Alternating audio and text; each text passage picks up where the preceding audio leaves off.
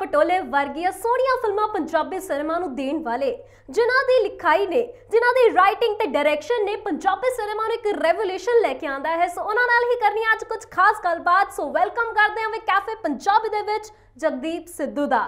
ਸਤਿ ਸ਼੍ਰੀ ਅਕਾਲ ਜੀ। ਸਤਿ ਸ਼੍ਰੀ ਅਕਾਲ ਜੀ, ਸਤਿ ਕਿਵੇਂ ਹੋ ਜੀ? ਤੇ ਬਹੁਤ ਵੈਲਕਮ ਹੈ ਤੁਹਾਡਾ ਕੈਫੇ ਪੰਜਾਬੀ ਦੇ ਵਿੱਚ। ਸੋ ਹੁਣ ਮਤਲਬ ਫੀਲਿੰਗ ਵਧੀਆ ਹੈ ਕਿਉਂਕਿ ਪੰਜਾਬੀ ਇੰਡਸਟਰੀ ਵਿੱਚ ਤੁਹਾਡੀ ਫਿਲਮਾਂ ਕਰਕੇ ਇੱਕ ਰੈਵੋਲੂਸ਼ਨ ਆ ਗਿਆ ਹੈ ਯੂਨੀਕ ਤੇ ਨਵੇਂ ਕਨਸੈਪਟ ਨੂੰ ਹੁੰਗਾਰਾ ਮਿਲਣ ਲੱਗ ਪਿਆ ਹੈ। ਹਾਂਜੀ ਬਹੁਤ ਮਤਲਬ ਐਕਚੁਅਲੀ ਪਹਿਲਾਂ ਵੀ ਕਾਫੀ ਸਾਰੀਆਂ ਫਿਲਮਾਂ ਆਈਆਂ ਜੋ ਨਵੇਂ-ਨਵੇਂ ਸਬਜੈਕਟ ਤੇ ਸੀਗੀਆਂ। ਬਟ ਐਕਚੁਅਲੀ ਇੱਕ ਫਿਲਮ ਦਾ ਬਾਕਸ ਆਫਿਸ ਵਧੀਆ ਰਹਿ ਜਾਂਦਾ ਹੈ ਤਾਂ ਫਿਰ ਥੋੜਾ ਜਿਹਾ ਹੌਸਲਾ ਵੱਧ ਜਾਂਦਾ ਹੈ। ਤਾਂ ਕਿਸਮਤ ਤੋਂ ਬਾਅਦ ਕਾਫੀ ਸਾਰੀਆਂ ਡਿਫਰੈਂਟ ਡਿਫਰੈਂਟ ਸਬਜੈਕਟ ਤੇ ਫਿਲਮਾਂ ਆ ਰਹੀਆਂ ਤਾਂ ਵਧੀਆ ਇੰਡਸਟਰੀ ਲਈ। ਜੀ ਜੀ ਜੀ। ਤੁਸੀਂ ਮਤਲਬ 2013 ਤੋਂ ਪੰਜਾਬੀ ਸਿਨੇਮਾ ਵਿੱਚ ਆਈ ਗੈਸ ਸ਼ੁਰੂਆਤ ਕੀਤੀ ਸੀ ਰੋਂਦੇ ਸਾਰੇ ਵਿਆਹ ਪਿੱਛੋਂ ਹਨਾ? ਫਿਰ 2016 ਵਿੱਚ ਪਰ ਤੁਹਾਨੂੰ ਇੱਕ ਹੁੰਗਾਰਾ ਮਿਲਿਆ ਸੀ ਨਿੱਕਾ ਜੈਲਦਾਰ ਤੋਂ ਜਦੋਂ ਕਿਕ ਸਟਾਰਟ ਹੋਇਆ ਸੀ ਤੁਹਾਡਾ ਕੈਰੀਅਰ ਸੋ 2013 ਤੇ 2016 ਦੇ ਵਿੱਚ 3 ਸਾਲ ਜਿਹੜਾ ਸਟਰਗਲ ਚੱਲਿਆ ਤੁਹਾਡਾ ਹਨਾ? ਸੋ ਉਦੋਂ ਮਤਲਬ ਇਹ ਹੋਇਆ ਸੀਗਾ ਕਿ ਸ਼ਾਇਦ ਮੇਰੀ ਸਟੋਰੀਜ਼ ਪੰਜਾਬੀ ਸਿਨੇਮਾ ਵਿੱਚ ਫਿੱਟ ਨਹੀਂ ਬੈਠ ਰਹੀਆਂ ਨੇ। ਉਦੋਂ ਇਦਾਂ ਦੀ ਕੁਝ ਆਇਆ ਸੀਗਾ? ਨਹੀਂ ਐਕਚੁਅਲੀ ਉਦੋਂ ਮੇਰੀ ਪਹਿਲੀ ਉਹਨਾਂ ਚੋਂ ਜਿਹੜੀਆਂ ਵੀ ਮੈਂ ਫਿਲਮਾਂ ਸੀਗੀਆਂ ਉਹ ਸਾਰੀਆਂ ਐਜ਼ ਅ ਡਾਇਲੌਗ ਰਾਈਟਰ ਸੀ। ਅੱਛਾ ਹਾਂ ਪਹਿਲੀ ਫਿਲਮ ਜਿਹੜੀ ਮੈਂ ਮਤਲਬ ਮੇਰੀ ਸਟੋਰੀ ਸੀ ਉਹ ਪਹਿਲੀ ਫਿਲਮ ਮੇਰੀ ਦਿਲਦਾਰੀਆਂ ਸੀ। ਹਾਂ ਹਾਂ ਔਰ ਅੱਛਾ ਸੈਕਿੰਡ ਨਿੱਕਾ ਜਾਂਦਾ ਸੀ। ਅੱਛਾ। ਸੋ ਉਦੋਂ ਕੰਮ ਹੈ ਨਹੀਂ ਸੀਗਾ ਜੋ ਪ੍ਰੋਜੈਕਟਸ ਮਿਲਦੇ ਸੀਗੇ ਮਤਲਬ ਉਹੀ ਕਰਨੇ ਪੈਂਦੇ ਸੀਗੇ ਹਨਾ ਕਿਉਂਕਿ ਮਤਲਬ ਇੱਕ ਘਰ ਵੀ ਚਲਾਉਣਾ ਹੁੰਦਾ ਤਾਂ ਬੰਬੇ ਸੀਗੇ ਪੈਸਾ ਪੂਸਾ ਹੁੰਦਾ ਨਹੀਂ ਸੀ। ਸੋ ਸਾਲ 'ਚ ਇੱਕ ਅੱਧੀ ਫਿਲਮ ਮਿਲਦੀ ਸੀ ਉਹ ਕਰ ਲੈਂਦੇ ਸੀਗੇ। ਬਟ ਕਿਤੇ ਨਾ ਕਿਤੇ ਪਤਾ ਸੀਗਾ ਕਿ ਉਹ ਫਿਲਮਾਂ ਰਾਈਟ ਨਹੀਂ ਗਈਆਂ। ਹੂੰ ਹੂੰ।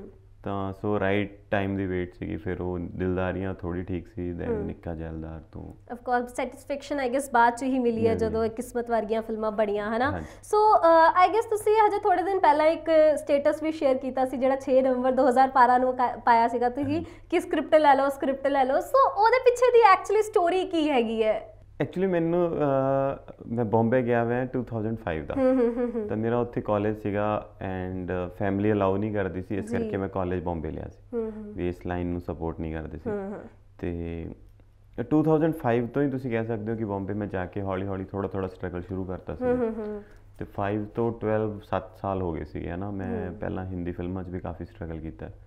ਤੇ ਕੁਝ ਹੋ ਨਹੀਂ ਰਿਹਾ ਸੀਗਾ। ਹੂੰ ਹੂੰ ਤਾਂ ਐਵੇਂ ਮਤਲਬ ਨਾਟ ਕਿ ਕੋਈ ਫਰਸਟ੍ਰੇਸ਼ਨ ਨਹੀਂ ਸੀਗੀ ਬਟ ਐਵੇਂ ਮਜ਼ਾਕ ਮਜ਼ਾਕ ਸਾਸੇ ਹਾਸੇ ਚ ਪਾਤਾ ਸੀਗਾ ਕਿ ਮੈਂ ਇੱਕ ਸਬਜ਼ੀ ਵਾਲੇ ਨੂੰ ਦੇਖਿਆ ਕਿ ਉਹ ਐ ਅੱਛਾ। ਵੀ ਰੌਲਾ ਪਾਉਂਦਾ ਹੈ ਨਾ ਤਾਂ ਉਹ- ਉਸ ਸਟਾਈਲ ਚ ਲਿਖਤਾ ਸੀ ਹੂੰ ਹੂੰ ਹੂੰ ਸੋ ਇਹਦੇ ਉਹ ਮਤਲਬ ਉਹ ਕਹਾਣੀ ਸੀਗੀ ਹੈ ਨਾ ਉਸ ਸਟੋਰੀ ਦੇ ਵਿੱਚ। ਸੋ ਕਿਸਮਤ ਦੀ ਗੱਲ ਕਰਦੇ ਆ ਜਦੋਂ ਕਿਸਮਤ ਫਿਲਮ ਇੱਕ ਰਿਲੀਜ਼ ਹੋਈ ਸੀ ਇੱਕ ਰਿਸਕ ਫੈਕਟਰ ਸੀਗਾ ਕਿਉਂਕਿ ਪਿਓਰ ਲਵ ਸਟੋਰੀ ਸੀ ਕਿ ਸਭ ਤੋਂ ਵੱਡਾ ਰਿਸਕ ਫੈਕਟਰ ਸੀਗਾ ਕਲਾਈਮੈਕਸ ਦਾ। ਕਿਉਂਕਿ ਕਲਾਈਮੈਕਸ ਜਦੋਂ ਬਾਣੀ ਨੂੰ ਇੱਕ ਮਤਲਬ ਮਰ ਜਾਂਦੀ ਹੈ ਸੋ ਉਹ ਸਭ ਤੋਂ ਜ਼ਿਆਦਾ ਸੀਗਾ ਕਿ ਆਡੀਅנס ਇਸ ਚੀਜ਼ ਨੂੰ ਐਕਸੈਪਟ ਕਰੇਗੀ ਕਿ ਨਹੀਂ ਕਰੇਗੀ। ਤੁਹਾਨੂੰ ਇਹ ਰਿਸਕ ਨਹੀਂ ਲੱਗਾ ਸੀ ਕਿ ਸ਼ਾਇਦ ਆਡੀਅנס ਕਰੇ ਨਾ ਕਰੇ ਐਕਸੈਪਟ ਨਹੀਂ ਐਕਚੁਅਲੀ ਮੈਂ ਉਹ ਸਬਜੈਕਟ ਬਹੁਤ ਸਾਰੇ ਮਤਲਬ ਫਰੈਂਡਸ ਨੂੰ ਨਰੇਟ ਕੀਤਾ ਸੀਗਾ ਤੇ ਸਭ ਨੂੰ ਵਧੀਆ ਲੱਗਿਆ ਸੀ ਉਹ ਆਲਮੋਸਟ ਫਿਲਮ ਸਭ ਨੂੰ ਵਧੀਆ ਲੱਗਦੀ ਸੀ ਬਟ ਹਰ ਕੋਈ ਕਹਿੰਦਾ ਹੁੰਦਾ ਸੀ ਕਿ ਇਹ ਫਿਲਮ ਪੰਜਾਬੀ ਲਈ ਠੀਕ ਨਹੀਂ ਹੈ। ਅੱਛਾ। ਤੇ ਫਿਰ ਮੈਂ ਪੰਜਾਬੀ ਦੇ ਵੀ ਕੁਝ ਵਧੀਆ ਡਾਇਰੈਕਟਰਸ ਹੈ ਕੁਝ ਐਕਟਰਸ ਹੈ ਜਿਨ੍ਹਾਂ ਨੂੰ ਫਿਲਮ ਸੁਣਾਈ ਹੈ। ਤੇ ਵਧੀਆ ਸਭ ਨੂੰ ਲੱਗਦਾ ਸੀਗਾ ਕਿ ਸਟੋਰੀ ਬਹੁਤ ਵਧੀਆ ਹੈ ਬਟ ਪੰਜਾਬ 'ਚ ਨਹੀਂ ਪੰਜਾਬ 'ਚ ਨਹੀਂ ਹੈ ਨਾ ਤੇ ਫਿਰ ਇੱਕ ਪੁਆਇੰਟ ਸੀਗਾ ਵੀ ਮੈਂ ਉਹਦਾ ਅਲਟਰਨੇਟ ਐਂਡ ਲਿਖਿਆ ਸੀਗਾ ਜਿਹਦੇ 'ਚ ਬਾਣੀ ਮਰਦੀ ਨਹੀਂਗੀ ਹੂੰ ਹੂੰ।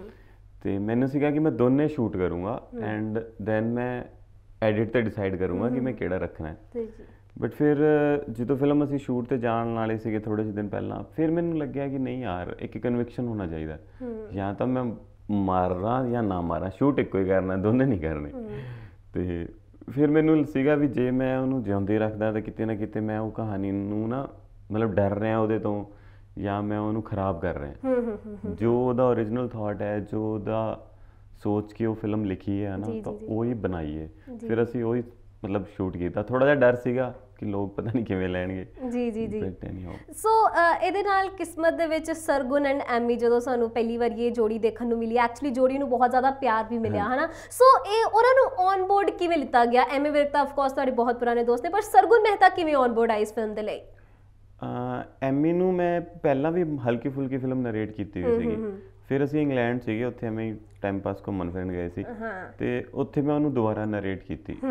ਤੇ ਉਹ ਮੈਨੂੰ ਕਹਿੰਦਾ ਯਾਰ ਮੈਂ ਉਦੋਂ ਸੋਚ ਰਿਹਾ ਸੀਗਾ ਕਿ ਕੋਈ ਨਵਾਂ ਮੁੰਡਾ ਤੇ ਨਵੀਂ ਕੁੜੀ। ਅੱਛਾ। ਤੇ ਮਤਲਬ ਨਾਟ ਉਸ ਲੈਵਲ ਤੇ ਫਿਲਮ ਨਹੀਂ ਮਤਲਬ ਇੱਕ ਛੋਟੇ ਲੈਵਲ ਤੇ ਫਿਲਮ ਹੈ ਨਾ। ਤੇ ਕਿਉਂਕਿ ਰਿਸਕ ਫੈਕਟਰ ਸੀਗਾ। ਤੇ ਫਿਰ ਐਮੀ ਮੈਨੂੰ ਕਹਿੰਦਾ ਕਹਿੰਦਾ ਨਹੀਂ ਯਾਰ ਮੈਂ ਕਰੂੰਗਾ ਵੀ ਮੈਨੂੰ ਵਧੀਆ ਲੱਗਦੀ ਹੈ ਹਨਾ। ਅੱਛਾ। ਤੇ ਮੈਂ ਕਿਹਾ ਠੀਕ ਹੈ। ਫਿਰ ਅਸੀਂ ਹੀਰੋਇਨ ਦਾ ਸੋਚਿਆ ਵੀ ਫਿਰ ਵੀ ਅਸੀਂ ਸੀਗੇ ਵੀ ਹੀਰੋਇਨ ਕੋਈ ਨਵੀਂ ਕੁੜੀ। ਹਾਂ ਔਰ ਬਹੁਤ ਟਾਈਮ ਤਾਈਂ ਅਸੀਂ ਐਫਰਟਸ ਵੀ ਕੀਤੇ ਕਿ ਕੋਈ ਸਾਨੂੰ ਕੋਈ ਵਧੀਆ ਕੁੜੀ ਮਿਲੇ ਹਨਾ। ਫਿਰ ਸਾਨੂੰ ਥੋੜਾ ਜਿਹਾ ਤਾਨਿਆਂ ਤੇ ਜਾ ਕੇ ਕੌਨਫੀਡੈਂਸ ਆਇਆ ਸੀ ਵੀ ਯਾਰ ਆ ਕੁੜੀ ਠੀਕ ਹੈ। ਬਟ ਉਹ ਇੰਡੀਆ ਨਹੀਂ ਸੀਗੀ। ਉਹ ਕੈਨੇਡਾ ਸੀਗੀ ਤੇ ਤੁਸੀਂ ਕਿਸੇ ਬੰਦੇ ਨੂੰ ਮਿਲੇ ਨਹੀਂ ਹੋ। ਸਾਹਮਣੇ ਪਰਫਾਰਮ ਕਰਦੇ ਦੇਖਿਆ ਨਹੀਂਗਾ ਜੀ। ਤਾਂ ਇੱਕ ਰਿਸਕ ਫੈਕਟਰ ਜਿਹਾ ਸੀਗਾ ਕਿ ਯਾਰ ਨਹੀਂ। ਜੀ ਜੀ। ਤੇ ਫਿਰ ਐਮੀ ਕਹਿੰਦਾ ਚੱਲ ਸਰਗੁਣ ਐਮੀ ਨੂੰ ਆ ਗਾਣਾ ਉਹਨਾਂ ਦਾ ਆਇਆ ਸੀ ਕਿਸਮਤ। ਕਿਸਮਤ। ਉਹ ਹਿੱਟ ਹੋਇਆ ਸੀਗਾ ਤੇ ਉਹਦੇ ਲਈ ਮਿਲਣ ਆਏ ਸੀਗੇ ਮਤਲਬ ਤੇ ਉਦੋਂ ਹੀ ਅਸੀਂ ਬੈਠੇ ਸੀਗੇ। ਐਮੀ ਕਹਿੰਦਾ ਸਰਗੁਣ ਨੂੰ ਸੁਣਾ ਦਿੰਨੇ। ਤੇ ਸਰਗੁਣ ਨੂੰ ਸੁਣਾਈ ਉਹਨੇ ਸੁਣਦੇ ਹੀ ਕਰਤੀ। ਤੇ ਸੋ ਕਿਸਮਤ ਤੋਂ ਬਾਅਦ ਹੁਣ ਸੁਫਨਾ ਵੀ ਤੁਹਾਡੀ ਇੱਕ ਲਵ ਸਟੋਰੀ ਆ ਰਹੀ ਹੈ ਹਨਾ? ਸੋ ਸੁਫਨਾ ਕਿਵੇਂ ਮਤਲਬ ਇਹਦਾ ਹੁਣ ਤਾਂ ਤਾਨਿਆ ਐਕਚੁਅਲੀ ਇਹਦੇ ਵਿੱਚ ਲੀਡ ਐਕਟਰਸ ਦਾ ਰੋਲ ਨਿਭਾਏਗੀ ਹਨਾ? ਸੋ ਸੁਫਨਾ ਕਿਵੇਂ ਮਤਲਬ ਤਿਆਰ ਕੀਤਾ ਹੈ? ਹੁਣ ਜੋ ਅਗਲੇ ਸਾਲ ਆਈ ਗੈਸ 2020 ਚ ਇਹ ਰਿਲੀਜ਼ ਹੋਣ ਜਾ ਰਹੀ ਹੈ। ਸੋ ਇਹ ਕਿਵੇਂ ਫਿਲਮ ਸਾਨੂੰ ਦੇਖਣ ਨੂੰ ਮਿਲੇਗੀ? ਕਿਹੋ ਜੀ ਹੋਏਗੀ? ਅਗੇਨ ਸੁਪਨਾ ਵੀ ਮੈਂ ਜਦੋਂ ਸੋਚਿਆ ਸੀਗਾ ਮੈਂ ਸੇਮ ਸੋਚਿਆ ਸੀ ਨਵਾਂ ਮੁੰਡਾ ਨਵੀਂ ਕੁੜੀ। ਅੱਛਾ। ਤੇ ਕਿਉਂਕਿ ਟੀਨੇਜ ਲਵ ਸਟੋਰੀ ਦਾ ਥਾਟ ਲੈ ਕੇ ਚੱਲੇ ਸੀ ਉਦੋਂ ਹਨਾ? ਤੇ ਪਹਿਲਾਂ ਮੈਂ ਇਸ ਇਹ ਵੀ ਉਵੇਂ ਹੀ ਹੈ ਕਿ ਸਕ੍ਰਿਪਟ ਮੈਂ ਇੱਕ ਦੋ ਜਣਾਂ ਨੂੰ ਨਰੇਟ ਕੀਤੀ ਸੀ ਇੱਕ ਦੋ ਡਾਇਰੈਕਟਰਸ ਨੂੰ ਹਨਾ। ਬਟ ਕਿਸੇ ਨੂੰ ਸ਼ਾਇਦ ਉਹਨਾਂ ਦੇ ਪਲਾਨਿੰਗ 'ਚ ਜਾਂ ਉਹਨਾਂ ਦੇ ਸੈਟਅਪ ਸੈੱਟ ਨਹੀਂ ਬੈਠ ਰਹੀ ਸੀ ਜੀ। ਤੇ ਉਹ ਮੇਰੇ ਕੋਲੇ ਕਾਫੀ ਟਾਈਮ ਤੋਂ ਸੀਗੀ ਔਰ ਉਹ ਇਹ ਵੀ ਸੇਮ ਸੀ ਵੀ ਐਮੀ ਨਾਲ ਮੈਂ ਡਿਸਕਸ ਕਰਦਾ ਰਹਿਣਾ ਬੀਇੰਗ ਅ ਫਰੈਂਡ ਹਨਾ। ਤੇ ਇੱਕ ਪੁਆਇੰਟ ਤੇ ਆ ਕੇ ਉਹਨੇ ਮੈਨੂੰ ਕਿਹਾ ਯਾਰ ਵੀ ਇਹ ਫਿਲਮ ਵੀ ਮੈਂ ਹੀ ਕਰੂੰਗਾ। ਅੱਛਾ। ਤਾਂ ਫਿਰ ਮੈਨੂੰ ਸੀਗਾ ਕਿ ਚੱਲ ਐਮੀ ਹੈ ਤਾਂ ਫਿਰ ਆਪਾਂ ਮਤਲਬ ਹੀਰੋਇਨ ਵੀ ਐਟਲੀਸਟ ਉਹਦੀ ਡਿਮਾਂਡ ਇਹ ਸੀਗੀ ਵੀ ਥੋੜੀ ਜੀ ਯੰਗ ਕੁੜੀ ਚਾਹੀਦੀ ਹੈ। ਅੱਛਾ। ਤਾਂ ਫਿਰ ਮੈਨੂੰ ਸੀਗਾ ਵੀ ਐਮੀ ਹੈ ਤਾਂ ਕੁੜੀ ਵੀ ਨੋ ਨਹੀਂ ਲਓ। ਤੇ ਫਿਰ ਉਸ ਕੈਟਾਗਰੀ 'ਚ ਦੋ ਤਿੰਨ ਕੁੜੀਆਂ ਸੀਗੀਆਂ। ਫਿਰ ਉਹਨਾਂ ਚੋਂ ਤਾਨਿਆਂ ਨਾਲ ਅਸੀਂ ਕਿਸਮਤ ਵੀ ਕੀਤੀ ਹੈ। ਜੀ। ਫਿਰ ਗੁੱਡੀਆਂ ਪਟੋਲੇ ਵੀ ਕੀਤੀ ਗੁੱਡੀਆਂ ਪਟੋਲੇ ਵੀ ਕੀਤੀ ਜੇ ਗੁੱਡੀਆਂ ਪਟੋਲੇ ਦੀ ਗੱਲ ਕਰੀਏ ਆਫ ਕੋਰਸ ਇਹ ਔਮਨ ਸੈਂਟਰਿਕ ਫਿਲਮ ਸੀ ਜੋ ਸਭ ਤੋਂ ਜ਼ਿਆਦਾ ਐਪਰੀਸ਼ੀਏਟ ਕੀਤੀ ਗਈ ਪੰਜਾਬੀ ਸਿਨੇਮਾ ਵਿੱਚ। ਫਿਰ ਤੋਂ ਇੱਕ ਇਹੋ ਜਿਹਾ ਕਨਸੈਪਟ ਜਿਹੜਾ ਕਦੇ ਮਤਲਬ ਆਇਆ ਹੋਏਗਾ ਪਰ ਇੰਨਾ ਹੁੰਗਾਰਾ ਨਹੀਂ ਮਿਲਿਆ ਜਿੰਨਾ ਗੁੱਡੀਆਂ ਪਟੋਲੇ ਨੂੰ ਮਿਲਿਆ। ਜਦੋਂ ਗੁੱਡੀਆਂ ਪਟੋਲੇ ਇੱਕਦਮ ਸਕਸੈਸਫੁਲ ਹੋ ਗਈ ਦਿਲ ਨੂੰ ਤਸੱਲੀ ਮਿਲੀ ਕਿ ਹਾਂ ਫਾਈਨਲੀ ਔਮਨ ਸੈਂਟਰਿਕ ਫਿਲਮ ਵੀ ਲੋਕਾਂ ਨੂੰ ਪਸੰਦ ਆ ਹੀ ਗਈ ਹੈ। ਹਾਂਜੀ ਕਿਉਂਕਿ ਉਹ ਉਹ ਫਿਲਮ ਦਾ ਵੀ ਸੇਮ ਮਤਲਬ ਇੱਕ ਥਾਟ ਜਿਹਾ ਸੀਗਾ ਮੇਰੇ ਕੋਲੇ ਜਿੱਦੋਂ ਤੋਂ ਵੀ ਮੈਂ ਪਹਿਲਾਂ ਤੋਂ ਵੀ ਮੇਰੇ ਮਨ 'ਚ ਥੋੜਾ ਜਿਹਾ ਸੀਗਾ ਬਟ ਅਗੇਨ ਮੈਂ ਜੈਸਮਿਨ ਸੈਂਡਲਸ ਉਹਨਾਂ ਦੀਆਂ ਸਨੈਪਚੈਟਸ ਦੇਖੀਆਂ ਨਾ। ਤਾਂ ਮੈਨੂੰ ਲੱਗਦਾ ਸੀ ਕਿ ਯਾਰ ਇਹ ਬਹੁਤ ਵਧੀਆ ਰਿਲੇਸ਼ਨਸ਼ਿਪ ਹੈ ਨਾ ਔਰ ਇਹ ਹਰ ਪੰਜਾਬ ਦਾ ਹਰ ਬੰਦਾ ਇਹਨਾਂ ਨਾਨੀ ਦਾਦੀ ਨਾਲ ਰਿਲੇਟ ਕਰਦਾ। ਤਾਂ ਇਸ ਸਬਜੈਕਟ ਤੇ ਕੁਝ ਫਿਲਮ ਹੋਣੀ ਚਾਹੀਦੀ ਹੈ। ਤੇ ਉਹਦੇ ਲਈ ਵੀ ਮੈਨੂੰ ਇੰਡਸਟਰੀ 'ਚੋਂ ਸਿਰਫ ਇੱਕੋ ਹੀ ਆਪਸ਼ਨ ਦੇਖਦਾ ਸੀ ਵੀ ਸੋਨਮ ਬਾਜਵਾ ਹਨਾ। ਅੱਛਾ। ਔਰ ਉਹਨਾਂ ਨਾਲ ਵਧੀਆ ਟਿਊਨਿੰਗ ਵੀ ਹੈ ਮੇਰੀ ਪਿੱਛੇ ਅਸੀਂ ਨਿੱਕਾ 1 ਨਿੱਕਾ 2 ਇਕੱਠੀ ਕੀਤੀ ਹੈ ਤੇ ਸੁਪਰ ਸਿੰਘ ਵੀ ਕੀਤੀ ਹੈ ਤੇ ਛੜਾ ਚ ਵੀ ਉਹਨਾਂ ਦਾ ਗੈਸਟ ਅਪੀਅਰੈਂਸ ਹੈ। ਤੇ ਉਹਨਾਂ ਨਾਲ ਵਧੀਆ ਰਿਲੇਸ਼ਨ ਹੈਗਾ ਮੇਰਾ ਤੇ ਮੈਂ ਉਹ ਸੋਨਮ ਨੂੰ ਕਿਹਾ ਵੀ ਤੁਸੀਂ ਇੱਕ ਵਾਰੀ ਸੁਣ ਲਓ। ਅੱਛਾ। ਹੈ ਨਾ ਕਿਉਂਕਿ ਫੀਮੇਲ ਓਰੀਐਂਟਡ ਫਿਲਮ ਬਹੁਤ ਘੱਟ ਬਣਦੀਆਂ ਰਿਸਕ ਹੈ। ਤੇ ਉਹ ਵੀ ਸੇਮ ਹੈ ਵੀ ਸੋਨਮ ਨੇ 10 ਮਿੰਟ ਸੁਣਿਆ ਔਰ ਉਹਨੂੰ ਵਧੀਆ ਲੱਗਿਆ। ਅੱਛਾ। ਐਂਡ ਫਿਰ ਔਨ ਬੋਰਡ ਸੀਗੀ। ਜੀ ਜੀ ਗੁੱਡੀਆਂ ਪਟੋਲੇ ਦੀ ਗੱਲ ਕਰੀਏ ਤਾਂ ਆਫ ਕੋਰਸ ਗੁੱਡੀਆਂ ਪਟੋਲੇ ਨੂੰ ਲੈ ਕੇ ਜਦੋਂ ਜੈਸਮਿਨ ਨੂੰ ਪਤਾ ਚੱਲਾ ਕਿ ਹਾਂ ਉਹਦੇ ਉਹਨਾਂ ਤੋਂ ਇਨਸਪਾਇਰਡ ਹੈ ਉਹਨਾਂ ਨੇ ਸਨੈਪਚੈਟ ਵੀ ਪਾਈ ਇਹਦੇ ਕਰਕੇ ਕਿ ਉਹ ਬਹੁਤ ਐਪਰੀਸ਼ੀਏਟ ਕਰਦੇ ਹੈ ਕਿ ਮਤਲਬ ਲੋਕੀ ਇਸ ਚੀਜ਼ ਨੂੰ ਕ੍ਰੈਡਿਟ ਨਹੀਂ ਦਿੰਦੇ। ਜਦੋਂ ਇਨਸਪਾਇਰਡ ਹੁੰਦੇ ਪਰ ਕ੍ਰੈਡਿਟ ਨਹੀਂ ਦਿੰਦੇ। ਉਹਨਾਂ ਨੇ ਇਸ ਚੀਜ਼ ਨੂੰ ਐਪਰੀਸ਼ੀਏਟ ਕੀਤਾ। ਤੁਸੀਂ ਉਹ ਸਨੈਪਚੈਟ ਵੈਸੇ ਸੁਣੀ ਸੀਗੀ? ਹਾਂਜੀ ਹਾਂਜੀ ਮੈਨੂੰ ਭੇਜੀ ਸੀ ਕਿਸੇ ਨੇ। ਅੱਛਾ। ਤੇ ਮੈਂ ਦੇਖੀ ਸੀਗੀ। ਤੇ ਮੈਨੂੰ ਵਧੀਆ ਲੱਗਿਆ ਵੀ ਉਹਨਾਂ ਨੇ ਪੋਜ਼ਿਟਿਵ ਲਿਆ ਹਨਾ। ਔਰ ਮੈਂ ਜੇ ਤੁਸੀਂ ਕਿਸੇ ਤੋਂ ਕਾਪੀ ਕਰਨਾ ਅੱਡ ਚੀਜ਼ ਹੁੰਦੀ ਹੈ ਕਿ ਤੁਸੀਂ ਕਿਸੇ ਦਾ ਪੂਰਾ ਗਾਣਾ ਚੱਕ ਲਓ ਪੂਰੀ ਸਟੋਰੀ ਚੱਕ ਲਓ ਹਨਾ। ਬਟ ਮਤਲਬ ਮੈਨੂੰ ਲੱਗਦਾ ਹੈ ਕਿ ਦੁਨੀਆ 'ਚ ਕੁਝ ਵੀ ਕੋਈ ਵੀ ਚੀਜ਼ ਓਰੀਜਨਲ ਨਹੀਂ ਹੈ। ਤੁਸੀਂ ਕਿਤੋਂ ਨਾ ਕਿਤੋਂ ਨੇਚਰ ਤੋਂ ਇਨਸਪਾਇਰ ਹੋ। ਤੁਹਾਡੇ ਸਾਹਮਣੇ ਕੋਈ ਨਾ ਕੋਈ ਚੀਜ਼ ਆਈ ਹੈ ਜਾਂ ਤੁਸੀਂ ਕੁਝ ਦੇਖਿਆ ਹੈ ਜਿੱਥੋਂ ਤੁਸੀਂ ਇਨਸਪਾਇਰ ਹੋ ਕੇ ਕੁਝ ਲਿਖਿਆ ਹੈ ਕੁਝ ਕ੍ਰੀਏਟ ਕੀਤਾ ਹੈ। ਚਾਹੇ ਉਹ Song ਹੋਵੇ ਚਾਹੇ ਉਹ ਮੂਵੀ ਹੋਵੇ ਚਾਹੇ ਉਹ ਕੱਪੜਾ ਹੋਵੇ। ਕੁਝ ਵੀ ਚੀਜ਼ ਹੈ ਨਾ ਤੁਸੀਂ ਕਿਤੋਂ ਨਾ ਕਿਤੋਂ ਇਨਸਪਾਇਰ ਹੁੰਦੇ ਹੋ। ਤੇ ਜੇ ਤੁਸੀਂ ਕਿਤੋਂ ਇਨਸਪਾਇਰ ਹੁੰਦੇ ਹੋ ਤਾਂ ਮੈਨੂੰ ਲੱਗਦਾ ਨਹੀਂ ਕਿ ਤੁਹਾਨੂੰ ਲੁਕਾਉਣ ਦੀ ਲੋੜ ਹੈ ਤੁਹਾਨੂੰ ਦੱਸਣਾ ਚਾਹੀਦਾ ਜੀ ਪਰ ਉਦਾਂ ਹੀ ਜੈਸਮਿਨ ਦੀ ਭੈਣ ਰੌਸਲਿਨ ਨੇ ਵੀ ਇੱਕ ਸ਼ਿਕਾਇਤ ਕੀਤੀ ਕਿ ਉਹਨਾਂ ਦਾ ਰੋਲ ਮਤਲਬ ਇੰਨਾ ਜ਼ਿਆਦਾ ਕੀਤਾ ਨਹੀਂ ਗਿਆ। ਸੋ ਉਹਨਾਂ ਦੀ ਸ਼ਿਕਾਇਤ ਨੂੰ ਤੁਸੀਂ ਕਿਵੇਂ ਲਿੱਤਾ ਬਈ? ਨਹੀਂ ਕਿਉਂਕਿ ਫਿਲਮ ਉਹਨਾਂ ਤੇ ਬੇਸ ਨਹੀਂ ਗਈ। ਮਤਲਬ ਉਹ ਉਹ ਸਿਰਫ ਉਹ ਰਿਲੇਸ਼ਨਸ਼ਿਪ ਉਹਨਾਂ ਦੇ ਜੋ ਮੂਮੈਂਟਸ ਹੈ ਜੋ ਉਹਨਾਂ ਦਾ ਰਿਲੇਸ਼ਨ ਹੈ ਉਹ ਥਾਟ ਉੱਥੋਂ ਇਨਸਪਾਇਰਡ ਹੈ। ਕਿ ਯਾਰ ਇਸ ਥਾਟ ਤੇ ਫਿਲਮ ਜੈਸਮਿਨ ਸੈਂਡਲਸ ਤੇ ਜਾਂ ਉਹਨਾਂ ਦੀ ਸਿਸਟਰ ਤੇ ਬੇਸ ਨਹੀਂ ਗਈ। ਸਿਰਫ ਉਹਨਾਂ ਦੀ ਲਾਈਫ ਤੋਂ ਇਨਸਪਾਇਰਡ ਹੈ। ਤਾਂ ਫਿਰ ਉਹਦੇ ਲਈ ਜਦੋਂ ਤੁਸੀਂ ਫਿਲਮ ਲਿਖਦੇ ਹੋ ਨਾ ਤਾਂ ਤੁਹਾਨੂੰ ਦੋਨੇ ਕੈਰੈਕਟਰਾਂ 'ਚ ਇੱਕ ਡਿਫਰੈਂਸ ਰੱਖਣਾ ਸੀਗਾ। ਸੋਨਮ ਦਾ ਕੈਰੈਕਟਰ ਥੋੜਾ ਅਪ ਰੱਖਣਾ ਸੀਗਾ ਦੂਜੀ ਕੁੜੀ ਦਾ ਥੋੜਾ ਜਿਹਾ ਡਾਊਨ ਰੱਖਣਾ ਸੀਗਾ। ਤਾਂ ਉਹ ਜੇ ਉਹਨੂੰ ਵੀ ਓਨਾ ਹੀ ਆਪਾਂ ਚੱਕ ਕੇ ਰੱਖਦੇ ਤਾਂ ਸ਼ਾਇਦ ਦੋਨੇ ਸਿਮਿਲਰ ਸਾਊਂਡ ਕਰਦੇ ਹਨਾ? ਜੀ ਜੀ। ਤਾਂ ਉਹ ਥੋੜੀ ਜਿਹੀ ਵੇਰੀਏਸ਼ਨ ਰੱਖੀ ਜੀ। ਤੇ ਜੇ ਮੈਂ ਫਿਲਮ ਡਾਇਰੈਕਟ ਕਰਦਾ ਤਾਂ ਮੈਂ ਪੱਕਾ ਜੈਸਮਿਨ ਸੈਂਡਲਰਸ ਤੇ ਉਹਦੀ ਸਿਸਟਰ ਨੂੰ ਲੈ ਕੇ ਡਾਇਰੈਕਟ ਕਰਦਾ। ਹਾਂ ਤਾਂ ਫਿਰ ਆਏਗਾ ਸੁਨਾ ਦੀ ਸ਼ਿਕਾਇਤ ਹੋ ਗਈ। ਚਲੋ ਫਿਰ ਹੁਣ ਛੜਾ ਫਿਲਮ ਆ ਰਹੀ ਹੈ ਵੀ ਦਲਜੀਤ ਤੇ ਨੀਰੂ ਬਾਜਵਾ ਨੂੰ ਲੈ ਕੇ। ਜਦੋਂ ਛੜਾ ਫਿਲਮ ਬਣਾਈ ਜੂਨ ਚ ਵੀ ਰਿਲੀਜ਼ ਹੋ ਰਹੀ ਹੈ। ਦਲਜੀਤ ਤੇ ਨੀਰੂ ਬਾਜਵਾ ਦੀ ਪੰਜਾਬੀ ਸਿਨੇਮਾ ਵਿੱਚ ਜੋੜੀ ਜਿਹੜੀ ਹੈਗੀ ਆਈਕੋਨਿਕ ਹੈਗੀ ਆ ਹਨਾ? ਸੋ ਉਹਨਾਂ ਨੂੰ ਕਿਵੇਂ ਤੁਸੀਂ ਸੋਚਿਆ ਕਿ ਹਾਂ ਸ਼ਾਇਦ ਛੜਾ ਫਿਲਮ ਚ ਉਹ ਦੋਨੋਂ ਇੱਕਦਮ ਫਿੱਟ ਬੈਠਣਗੇ? ਐਕਚੁਅਲੀ ਛੜਾ ਫਿਲਮ ਮੈਨੂੰ ਮਤਲਬ ਮੈਂ ਆਪ ਨਹੀਂ ਲਿਖੀ ਉਹਦਾ ਲਿਖ- ਹੈ ਬਟ ਉਹਦਾ ਜਿਹੜਾ ਥਾਟ ਹੈ ਉਹ ਦਿਲਜੀਤ ਬਾਈ ਦਾ ਹੈ। ਅੱਛਾ। ਉਹਨਾਂ ਨੇ ਹੀ ਮੈਨੂੰ ਉਹ ਫਿਲਮ ਆਫਰ ਕੀਤੀ ਅਨੁਰਾਗ ਸਰ ਤੇ ਦਿਲਜੀਤ ਭਾਈ ਨੇ। ਤੇ ਉਹੀ ਚਾਹੁੰਦੇ ਸੀਗੇ ਕਿ ਸੇਮ ਪੇਅਰ ਰਿਪੀਟ ਹੋਵੇ ਕਾਫੀ ਟਾਈਮ ਬਾਅਦ ਹਨਾ। ਔਰ ਫਿਲਮ 'ਚ ਜੋ ਉਹਨਾਂ ਦੇ ਕੈਰੈਕਟਰਸ ਹੈ ਜੋ ਤੁਸੀਂ ਫਿਲਮ ਦੇਖੋਗੇ ਤਾਂ ਤੁਹਾਨੂੰ ਪਤਾ ਲੱਗੂਗਾ ਕਿ। ਨੀਰੂ ਬਾਜਵਾ ਜੀ ਕਿਉਂ ਹੈ ਉਹਦੇ 'ਚ ਹਨਾ। ਜੀ। ਤਾਂ ਉਹ ਡਿਮਾਂਡ ਸੀਗੀ ਵੀ ਉਹ ਉਹੀ ਉਸ ਸੈਟਅਪ 'ਚ ਹੀ ਫਿੱਟ ਬੈਂਦੇ ਇੰਡਸਟਰੀ 'ਚ ਹਨਾ? ਔਰ ਕਾਫੀ ਟਾਈਮ ਬਾਅਦ ਉਹ ਪੇਅਰ ਰਿਪੀਟ ਹੋ ਰਿਹਾ ਹੈ। ਜੀ ਜੀ। ਸੋ ਆਲਰੇਡੀ ਉਹ ਮਤਲਬ ਸੈਟਅਪ 'ਚ ਹੀ ਸੀਗਾ ਜੀ ਜੀ। ਉਹਨਾਂ ਨਾਲ ਕੰਮ ਕਰਕੇ ਕਿਹੋ ਜਿਹਾ ਲੱਗਾ? ਨੀਰੂ ਜੀ ਨਾਲ ਮੈਂ ਪਹਿਲਾਂ ਵੀ ਕਾਫੀ ਕੰਮ ਹਾਂ, ਕੀਤਾ ਹੈ ਨਾ ਤਾਂ। ਉਹ- ਉਹਨਾਂ ਨਾਲ ਮੇਰੀ ਟਿਊਨਿੰਗ ਵੀ ਵਧੀਆ ਹੈ। ਦਿਲਜੀਤ ਬਾਈ ਨਾਲ ਮੈਂ ਸੁਪਰ ਸਿੰਗ ਕੀਤੀ ਹੈ ਬਟ ਸਾਡਾ ਜ਼ਿਆਦਾ ਮਿਲਣਾ ਨਹੀਂ ਹੋਇਆ। ਸੋ ਪਹਿਲੇ ਦਿਨ ਮੈਨੂੰ ਬਹੁਤ ਡਰ ਲੱਗਿਆ। ਮੈਨੂੰ ਸੀਗਾ ਕਿ ਮੈਂ ਕਿੱਥੇ ਫਸ ਗਿਆ ਹਨਾ? ਵੀ ਕਿਉਂਕਿ ਮੈਂ ਐਮੀ ਦੇ ਨਾਲ ਹੀ ਜ਼ਿਆਦਾ ਫਿਲਮਾਂ ਕੀਤੀਆਂ ਤੇ ਉਹਦੇ ਨਾਲ ਮੇਰੀ ਮਤਲਬ ਸਾਡੀ ਦੋਸਤੀ ਇੰਨੀ ਵਧੀਆ ਕਿ ਕਦੇ ਫੀਲ ਹੀ ਨਹੀਂ ਆਈ ਹਨਾ?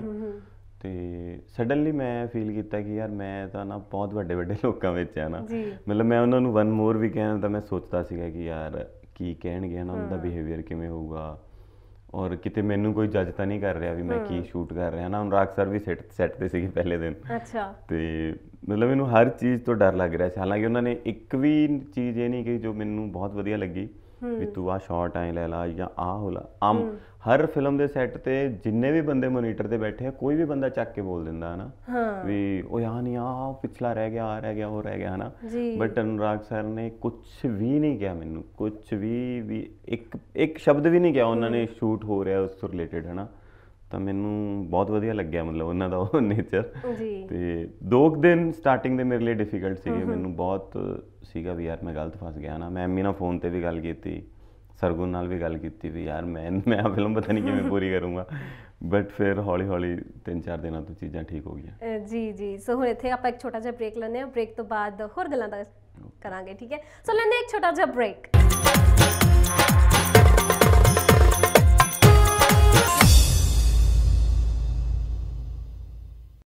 ਬ੍ਰੇਕ ਤੋਂ ਬਾਅਦ ਫਿਰ ਤੋਂ ਸਵਾਗਤ ਹੈ ਤੁਹਾਡਾ ਕੈਫੇ ਪੰਜਾਬੀ ਦੇ ਵਿੱਚ ਤੇ ਗੱਲਾਂ ਦਾ ਸਿਲਸਿਲਾ ਸ਼ੁਰੂ ਕਰਦੇ ਹਾਂ ਵੀ ਜਗਦੀਪ ਸਿੱਧੂ ਜੀ ਦੇ ਨਾਲ।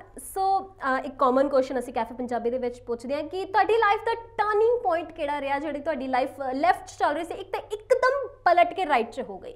ਉਹ ਨਿੱਕਾ ਜਿਹਾ ਓਕੇ ਮਤਲਬ ਜਿੱਥੋਂ ਮਤਲਬ ਇੱਕ ਉਦੋਂ ਪਹਿਲਾਂ ਸੀਗਾ ਵੀ ਜਦੋਂ ਮੈਂ ਬੰਬੇ ਸੋਚ ਲਿਆ ਸੀ ਕਿ ਮੈਂ ਬੰਬੇ ਛੱਡਦਾ ਤੇ ਮੈਂ ਆਲਮੋਸਟ ਸਟੇਸ਼ਨ ਪਹੁੰਚ ਗਿਆ ਸੀ ਬੋਰੀਵਲੀ ਸਟੇਸ਼ਨ ਹਨਾ? ਤਾਂ ਮੈਨੂੰ ਇੱਕ ਕਾਲ ਆਇਆ। ਹੂੰ। ਤੇ ਐਂਡ ਮੈਨੂੰ ਸੀਗਾ ਵੀ ਯਾਰ ਵਾਪਸ ਜਾਵਾਂ ਨਾ ਜਾਵਾਂ ਮੇਰੀ ਟ੍ਰੇਨ ਛੁੱਟ ਜੂਗੀ ਹਨਾ?